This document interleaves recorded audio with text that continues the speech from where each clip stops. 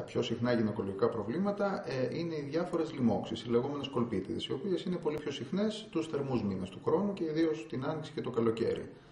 Ε, είναι πολύ συνηθισμένα προβλήματα, συνήθως ε, ελαφράς μορφής. Δεν χρειάζεται δηλαδή να ανησυχεί ιδιαίτερα η γυναίκα για αυτά τα πράγματα. Σαφώς όμως χρειάζονται έλεγχο και θεραπεία όταν παρουσιάζονται. Τα συνήθι συμπτώματα είναι κολπική έκρηση, ε, φαγούρα, δυσανεξία, τσούξιμο, δυσκολία στην επαφή, κάποιο συνδυασμός όλων αυτών σε, διάφορα, σε άλλο και άλλο μορφή και βαρύτητα. Ε, όταν ε, αντιλαμβάνεται η γυναίκα κάποια από αυτά τα συμπτώματα, πρέπει να απευθύνεται σε γυναικολόγο για να γίνει αφενός η εξέταση, κατά δεύτερον η καλλιέργεια κολπικού υγρού για να απομονωθεί ο παθογόνος παράγοντας, το μικρόβιο ή ο μύκητας που ευθύνεται και να δοθεί η αντίστοιχη θεραπεία. Ε, θα ήθελα όμως να πω ότι πιο σημαντικό από όλα αυτά είναι ο προληπτικός έλεγχος που πρέπει να κάνουν όλες οι γυναίκες και ο οποίος δυστυχώς στην Ελλάδα ε, δεν είναι πολύ ικανοποιητικός. Δηλαδή, ένα, η μειοψηφία των γυναικών κάνει τον ετήσιο προληπτικό έλεγχο ως θα όφιλε. Ε, και αυτό είναι πολύ σημαντικό να το κατανοήσουν οι γυναίκες ανεξαρτήτως ηλικίας, γιατί κυκλοφορούν και πολλές ε, παρεξηγήσεις και μύθοι. Ε, κυκλοφορεί δηλαδή η αντίληψη στον κόσμο ότι όταν η γυναίκα είναι από μια ηλικία και πάνω δεν χρειάζεται πούμε, να ελέγχεται γιατί έχει ξεπεράσει τον κίνδυνο ή όταν είναι από μια ηλικία και κάτω ο κίνδυνος είναι πολύ μικρός αλλά πάλι δεν χρειάζεται να ελέγχεται. Ε, όλα αυτά ε, δεν ισχύουν ε, στην πραγματικότητα. Κάθε γυναίκα ε, από την ηλικία των 18 χρονών περίπου ή εν πάση περιπτώσει από όταν ξεκινάει τη σεξουαλική της ζωή πρέπει μία φορά το χρόνο να κάνει τον τακτικό γυναικολογικό της έλεγχο όπως γίνεται και στο, στο τακτικό ιατρείο του νοσοκομείου μας κάθε μέρα. Δηλαδή, κάθε γυναίκα ετησίως πρέπει να κάνει ένα τεστ Παπα-Νικολάου, μια γυναικολογική εξέταση, ψηλάφιση και έναν κολπικό υπέρηχο. Ε, και οι γυναίκες από την ηλικία των 40 ετών και άνω, εκτός από αυτά, κάθε χρόνο πρέπει να κάνουν και μια μαστογραφία και ψηλάψη μαστού.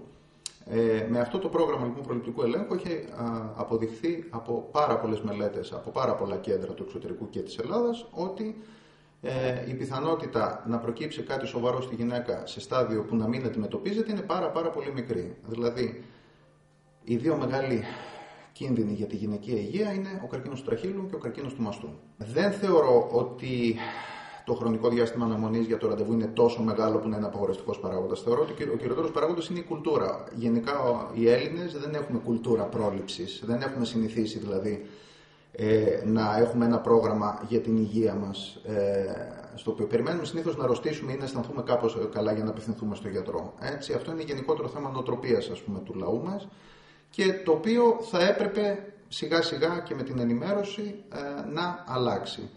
Ε, γιατί είναι γνωστό από την αρχαιότητα, από την εποχή του Ιπποκράτη, ότι η πρόληψη πάντα είναι πολύ πιο αποτελεσματική της όποιας θεραπείας. Και ειδικά όσον αφορά την ειδικότητα τη δικιά μας, ε, η έγκαιρη διάγνωση ε, ενός αρχόμενου καρκίνου του μαστού ή ενός αρχόμενου καρκίνου του δραχύλου της μήτρας ε, είναι η διαφορά μεταξύ της ζωής και του θανάτου.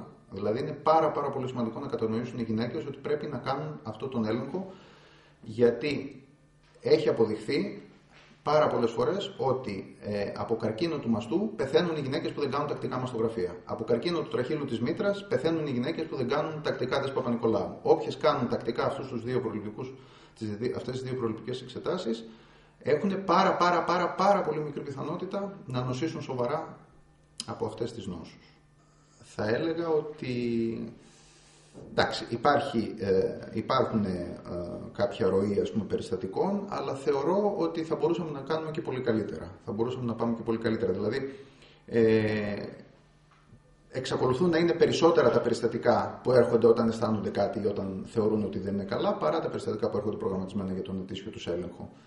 Ε, άρα νομίζω ότι είμαστε στα ποσοστά της υπόλοιπης Ελλάδας. Θα έπρεπε να βελτιωθεί δηλαδή το ποσοστό των γυναικών που κάνουν προληπτικό έλεγχο. Ε, αυτό που έχει αλλάξει είναι ότι μεγαλύτερος αριθμός γυναικών αμελεί τον προληπτικό έλεγχο για οικονομικούς λόγους. Υπάρχει και μεγάλο ποσοστό ανασφάλιστων ε, γυναικών οι οποίες ίσως δεν γνωρίζουν ότι παρότι ανασφάλιστες μπορούν να έρθουν στο νοσοκομείο να κάνουν όλο τον έλεγχό τους χωρίς να χρεωθούν κάτι.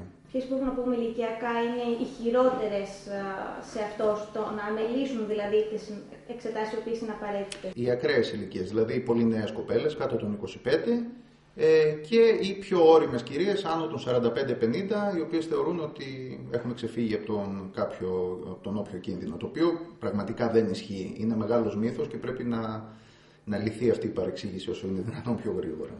Βλέπουμε ότι πολλές γυναίκες ακόμα και για την περίοδο της εγκυμοσύνης τους δεν προσφεύγουν στο Παναρκαδικό Νοσοκομείο ή δεν ισχύει αυτό. Προσφεύγουν δηλαδή είτε σε κέντρα των Αθηνών είτε σε ιδιώτες γιατρούς που συνεργάζονται με κέντρα της Αθήνας. Έχω την εντύπωση ότι αυτό σιγά σιγά έχει αρχίσει να αλλάζει. Σαφώς υπάρχει ένα μεγάλο μέρος των γυναικών που προτιμούν ε, τους ιδιώτες συναδέλφους ή ακόμα και την Αθήνα. Αλλά σιγά σιγά τουλάχιστον τον, τον τελευταίο καιρό που είμαστε εμείς εδώ υπάρχει αυξανόμενος αριθμός γυναικών που έρχονται πούμε, για την παρακολούθηση και για τη διεκπαιρέωση της εγκυμοσύνης τους ε, στο νοσοκομείο. Πόσους γυναικολόγους διαθέτει το Παναρκαδικό; Αυτή τη στιγμή είμαστε τρεις. Καλύπτονται οι ανάγκες δηλαδή; Καλύπτονται. Αν υπήρχαν οι περισσότεροι θα καλυπτόντουσαν και λίγο παραπάνω. λίγο καλύτερα, λίγο πιο άνετα. Αλλά και ο αριθμός 3 ε, είναι, ο, είναι ικανοποιητικός για να καλυφθούν οι ανάγκες προς το παρόν. Καλύπτονται όλες οι βάρδιες, ε, πολλές φορές με, με υπέρβαση του, του προσωπικού όσον αφορά τις άδειες, τα ρεπό κτλ. Αλλά σαφώς δεν έχει μείνει ποτέ βάρδια κάλυπτη από επαρκή αριθμό προσωπικού. Έτσι. Δηλαδή όλα αυτά που ακούγονται πιθανόν ε, να ακούγονται είναι και λίγο υπερβολές.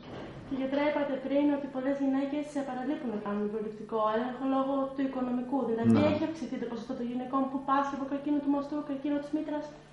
Ε, ναι, ναι. Ε, σε μελέτες των τελευταίων ετών ε, από μεγάλα κέντρα που ασχολούνται με αυτά τα πράγματα, από το νοσοκομείο Αλεξάνδρα παραδείγματος χάρη, έχει δείξει αύξηση, ε, αύξηση των προχωρημένων ε, καρκίνων και του μαστού, δυστυχώς, και του τραχύλου της μήτρας.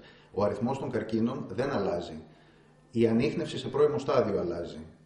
Έτσι. Ενώ ε, όσο, όσο μειώνεται το ποσοστό των γυναικών που κάνουν τον προληπτικό έλεγχο, τόσο αυξάνεται ο αριθμός των περιστατικών τα οποία ξεφεύγουν και ανακαλύπτονται σε πιο προχωρημένο στάδιο που η θεραπεία είναι πιο δύσκολη και με χειρότερες πιθανότητες επιτυχίας. Οι γυναίκες οι οποίες κάνουν ετήσια μαστογραφία και ε, ψηλάψη μαστού ε, είναι καλυμμένες κατά 97-98%. Δηλαδή ο καρκίνος που θα ξεφύγει από αυτό το πρόγραμμα της ετήσιας μαστογραφίας είναι εντάξει, 100% κάλυψη δεν μπορείς να έχεις ποτέ και για τίποτα. Έτσι αλλά ε, ένα ποσοστό γύρω στο 97-98% θεωρείται πάρα πολύ ικανοποιητικό για την αποτελεσματικότητα μιας προληπτικής μεθόδου. Το τακτικό γυναικολογικό ιατρείο λειτουργεί καθημερινά. Έτσι, ε, τα ραντεβού μπορούν να, να κλείνονται στο ε, τηλεφωνικό κέντρο του νοσοκομείου, έτσι, ε, όποια μέρα και ώρα βολεύει την κάθε κυρία. Ε, η ροή των, των ραντεβού είναι ικανοποιητική, δεν υπάρχει μεγάλη αναμονή προς το παρόν, αν δηλαδή αυτό είναι ένας παράγοντας που ε, κάνει τις γυναίκες να διστάζουν. Ε, θεωρώ ότι είναι μια καλή επιλογή αυτή την εποχή για τις γυναίκες ε, που αντιμετωπίζουν όπως όλος ο κόσμος κάποια οικονομική δυσκολία.